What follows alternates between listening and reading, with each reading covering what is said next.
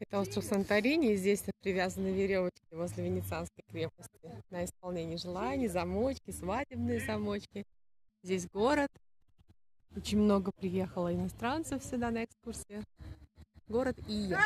Будь здоров, товарищ. Правда говорю, правда говорю. Правда говорю, как замечательно читал. Вот. Такой интересный вид.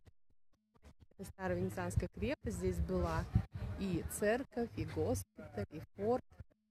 9 метров высотой была эта крепость. Она в таком виде сохранилась. Венецианцы защищали остров, развивали торговлю. А сам город вот и в таком виде сейчас уже с 56 -го года существует. Начал строиться.